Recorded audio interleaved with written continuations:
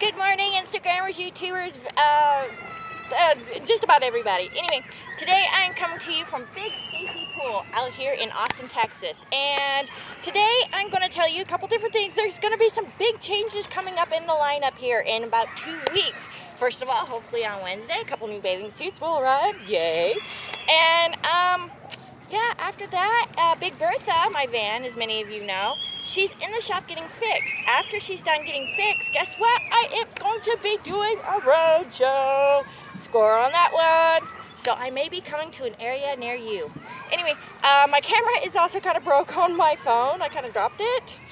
Yeah, so we'll see how that goes. Anyway, I'll talk to y'all after my swim. Again, this is Big Stacy Pool in Austin, Texas. And remember, get your neighborhood stalker spayed or neutered.